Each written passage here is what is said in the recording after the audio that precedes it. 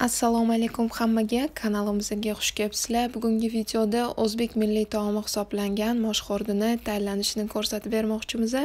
Buni tayyorlash juda ham oson. Demak mosh xo'rdini tayyorlash uchun bizga kerak bo'ladigan mahsulotlar bu 80 gramm guruch 80 gramm mosh bitta o'rtacha kartoshka bitta o'rtacha piyoz va 200 gramm go'sht kerak bo'ladi.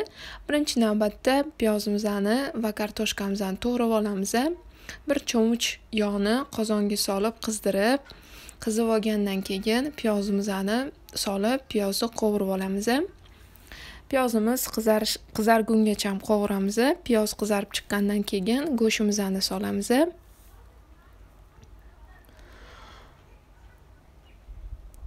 Mana piyozimiz qizarib chiqdi. Endi go'shtimizni solsak ham bo'ladi. Go'shtni ham solib yaxshilab qovurib olamiz. Go'shtimizni qovurib bo'lganimizdan keyin kartoshkamizni solamiz. Kartoshkani ham yaxshilab qovurib olasizlar. Bu orada moshimizni yuvib olgan bo'lishimiz kerak va bir litr suvga mosh solib demak kartoshka va go'shtga suvimizni sovoramiz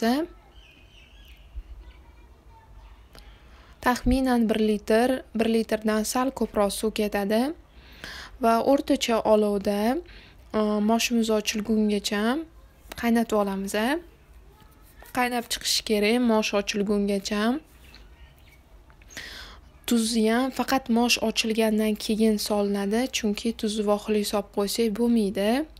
Moshimiz ochildi bir choy qoshiq tuzimizni solib olamiz orada zirela bo'lsa zirela zira solsanglar ham mazali chiqadi.